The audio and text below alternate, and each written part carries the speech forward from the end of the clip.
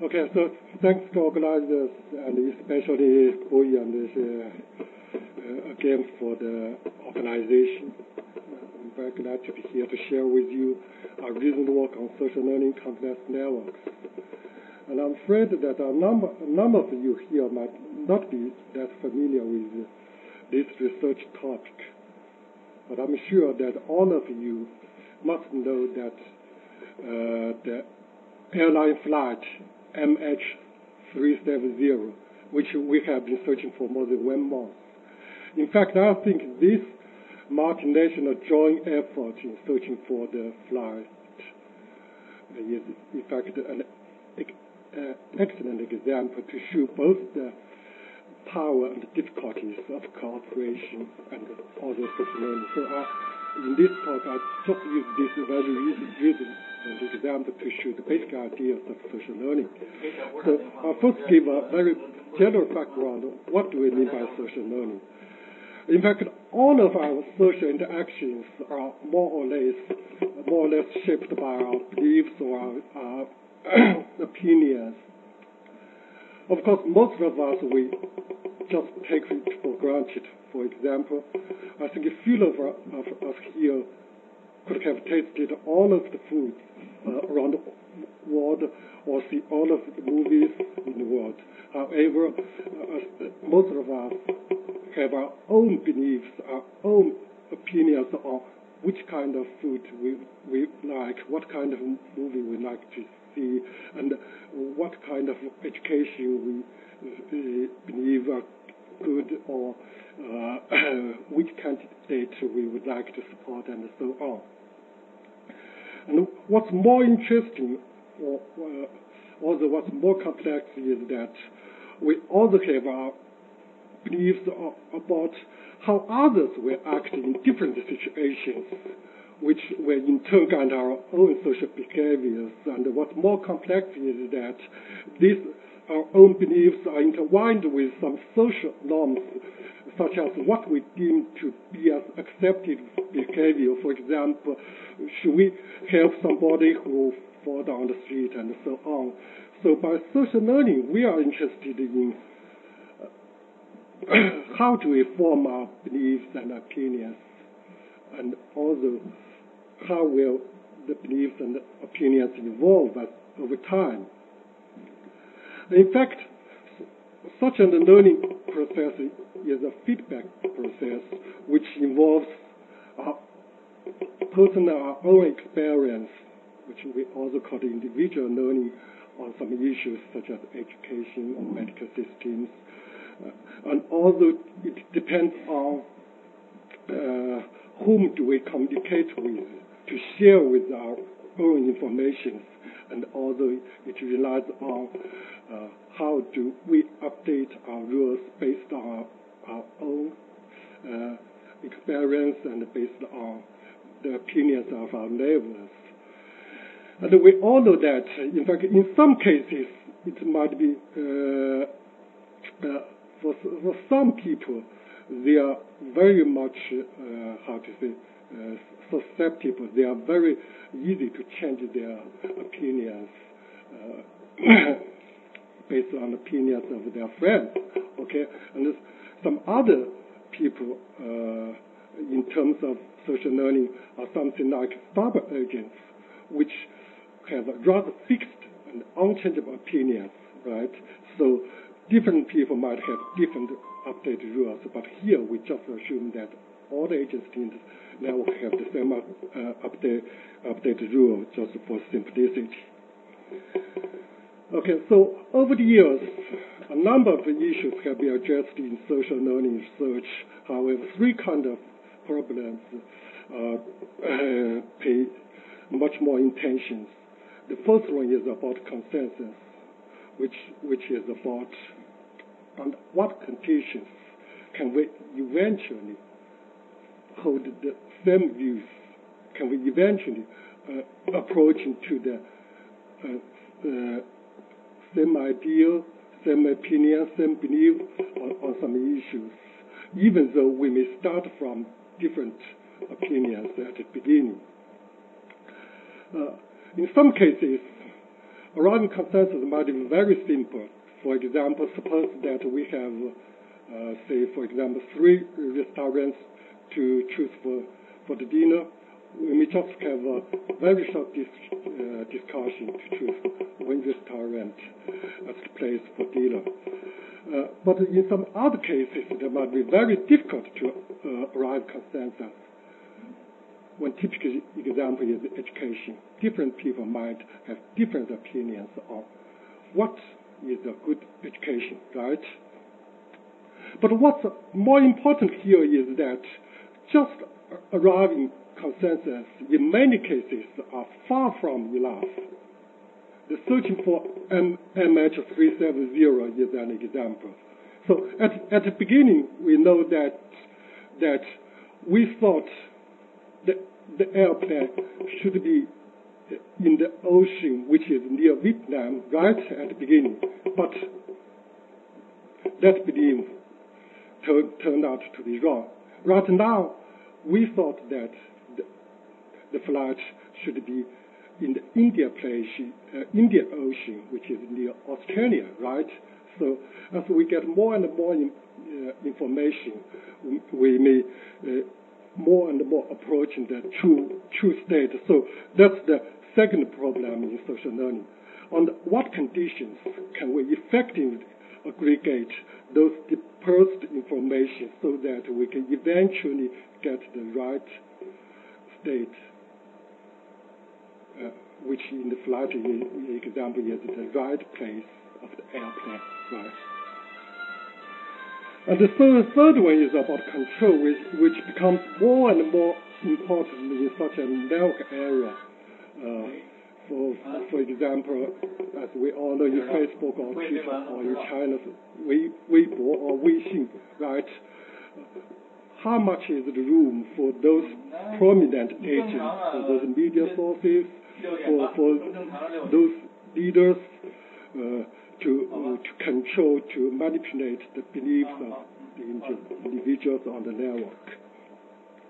So uh, in this talk, I've uh, just use two of our recent works to uh, show the uh, work on consensus and correct consensus. I started from the a classic linear consensus model, which was proposed, proposed by HK. It's, based on the classic homophily principle in social networks, which uh, simply is that people become friends just because they are similar to each other. So in this model, it's assumed that two agents are neighbors if on, on the, and only if the difference between their opinions are less than a constant R, which is which we call the confidence uh, radio. So, and at every time step, each agent updates its opinion just as the average of all its neighbors' opinion at that time step. So this model is in fact very simple, and uh, uh, it turned out that in order to achieve con- consensus, the confidence radio should be large enough. Otherwise, we'll see such kind of segmentation. So in our recent work, we generalize this model to try to incorporate randomness in the model. We assume that in addition to those neighbors within the confidence region, we assume that each individual also have a few random, uh, random neighbors. And uh, how do we choose these, random neighbors? We uh, use such an exponential function as the probability to choose the uh, random neighbors. Here, uh, as you can see that there are parameter alpha which determines the degree of randomness. If, uh, if alpha, is, alpha equals zero, then those ran, random neighbors are really choose completely random. And if, if alpha is sufficiently large, then this model just very similar to the original HK model. So with, this model, theoretically, we, can, we could prove right now that consensus could be achieved and within finite steps, and we provide an upper bound for the convergence uh, time. So this is the benefit of a model compared, com, uh, compared to the classic HK model. Uh, here is the simulation uh, uh, which shows the convergence time as a function of the parameter alpha and beta. Uh, as you can see that as alpha approaching zero, which means that uh, as we choose the, uh, those neighbors completely randomly, and we could get fast convergence speed. So this shows that randomness does benefit consensus. We also considered case that if we just skip up the uh, boundless model, we just assume that each agent have a few random random neighbors. And with, with this model, we could still prove that consensus can be achieved, but in this case, it's in a probability sense. Uh, so uh, this is our first work just on the consensus. Now, uh, spend more time on how to achieve correct consensus, which which is much more important in social learning. Okay, so I'll still use the MH370 as an example to show how could we formulate such a problem mathematically. All right, so first we have state space, which just tell us those possible areas for the airplane, right? We have n possible areas for uh, for for, uh, for this flight, and of course there are just only one true state, one true place for the flight, but we just don't know right now. But the true state does exist in this case, so that's what we are looking for. We are searching for. So each country each country has its own uh, own information, which we call the private signal, based on the on the ship, on the ship, on the on the on the airplane, on the analysis uh, of the ping signal between the uh, the flight and the satellite, and so on. Right. So each country has its own private signal, which is uh, represented by a likelihood function. So each country must share its information with other countries. So it uh, constitutes the network structure. Uh, but here we know that, for example, Australia might wish to uh, share all, all its information with the United States, but it, it might not wish to share some sensitive information with China, right? So it does exist some network, some kind of network structure here. Uh, but anyway, uh, information sharing is very, very important in social learning. So each, each country, each agent in the network has a belief at time t which state might be the true state. Of course, uh, uh, this belief should uh, satisfy the normalization condition. So the problem here is that under what conditions can we eventually find out the underlying true state? So mathematically, it's just the, that uh, this probability should tend to one. Yeah, should tend as time tends to infinity. So that's our problem problem uh, here. We, so we, with this formulation, we can try to inve investigate this problem theoretically and, and uh, numerically. So I just forced to show two extreme cases. On one hand, it's just based on individual learning based on the classical Bayes rule, which means that each agent to update its beliefs based on just its own information. Each agent does not communicate with any other agents in the network. So, so uh, that's what we call the individual learning. So, with, with the problem with this individual learning is that this agent have the accurate knowledge of the true state in order to find find out what's the true state eventually. So that's in fact a very strict condition. On the other hand, on the other hand, suppose that every agent in the network does not to use its own information, but just take its opinion as the average of other other agents in the network. And in this extreme case, we could prove that consensus can be achieved very easily. But of course, the problem here is that such kind of consensus are generally not the right consensus. So, so we could see that there are problems with, problems with these two extreme cases. So, natural step is that what if we combine these two extreme cases together? So that's what, what we call a hybrid social learning model. We try to put the individual Bayesian and the group consensus algorithm together to, to get this model.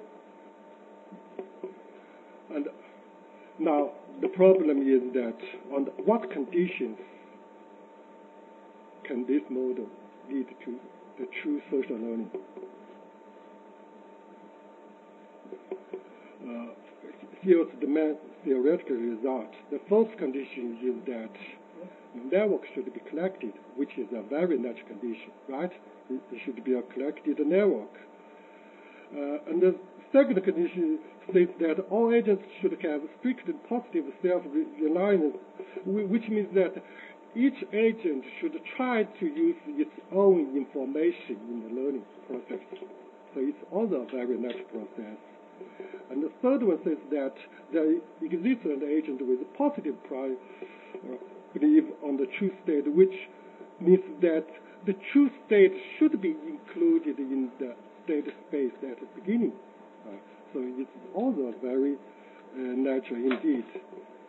So the most more important is the last condition, which says that there does not exist any other state which is observational equivalent to the true state from the point of all the agents in the network, which is uh, what we call the, condition of wisdom of crowds.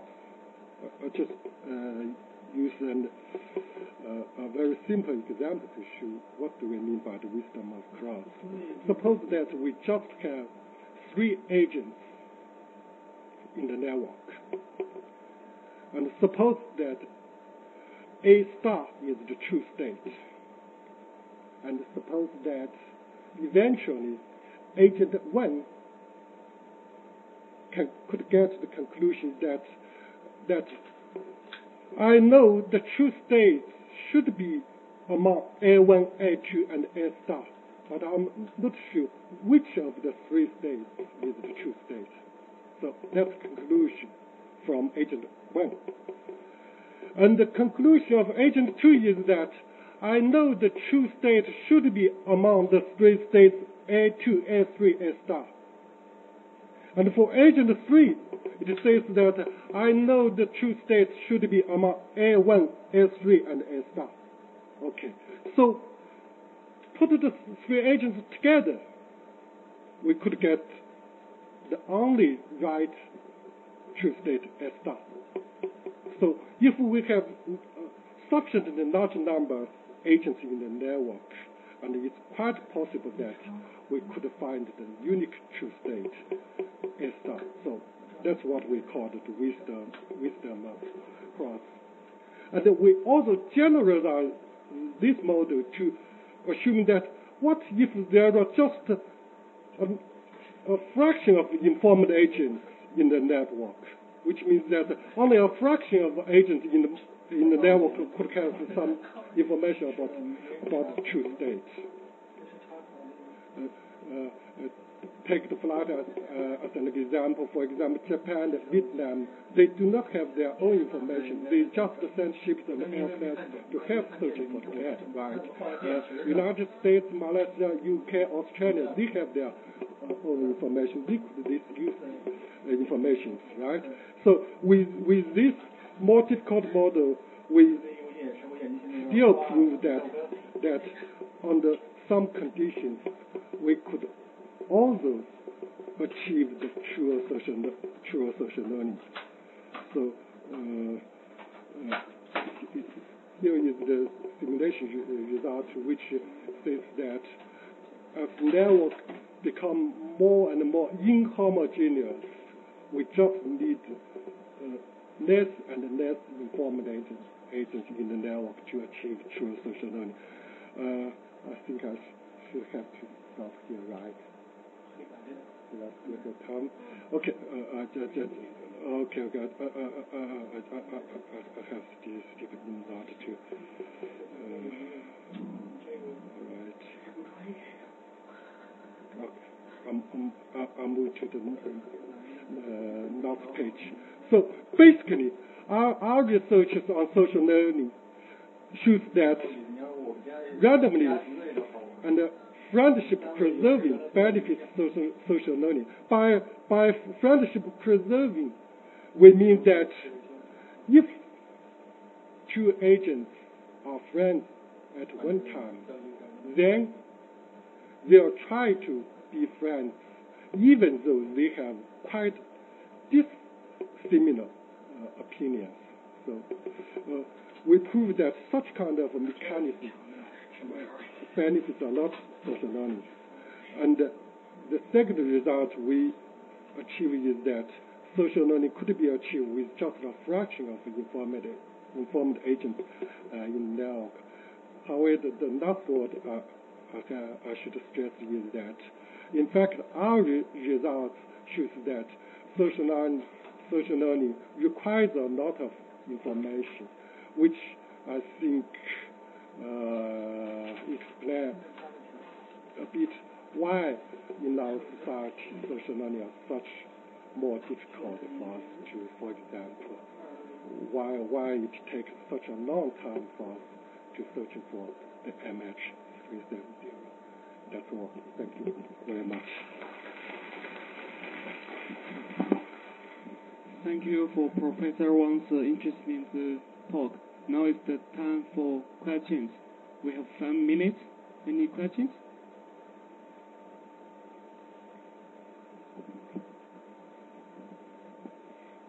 Yes, thank you for an interesting talk. Um, you, you were focusing on, on the aspect that if you have a, a small fraction or a fraction of, of informed um, uh, whether whether that would more likely to, to lead to, to the correct um, result. And I was wondering, have you looked at the opposite, where you know, where you introduce uh, a fraction of misinformed um, agents, whether that could could uh, bring you to the wrong conclusion? Yes, in fact, the, I think that's a very important topic which as researchers just uh, could start to investigate this problem a few years ago. That's uh, just as I said, how much is room for those misinformation? That could this, info, this information disappear, which means that could we still eventually know the truth, uh, the true state, which means that agents in, in the network uh, could more or less uh, have the ability to uh, correct those misinformation. That, that's very important. That, that's on the one hand. On the other hand, uh, uh, in this case, in this case, uh, there are some research which shows that sometimes we could have the persistent disagreement in the network, which means that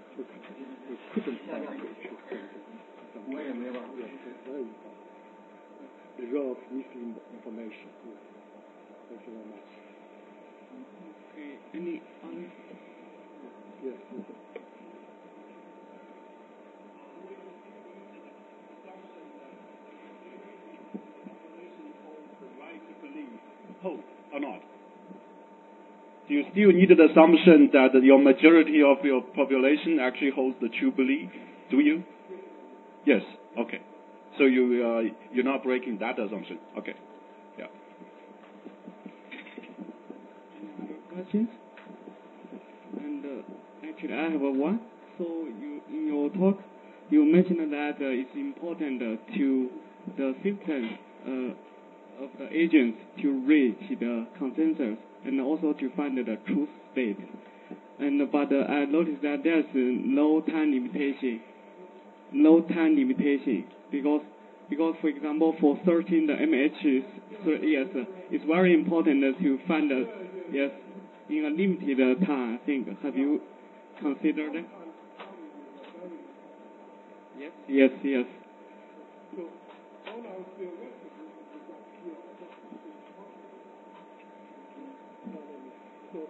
All our theoretical results here are uh, uh, just asymptotic results, which we assume that social learning could be achieved as time tends to infinity, but uh, as, as you mentioned. But uh, one of our results about consensus is infinite time. Yeah, thank you very much.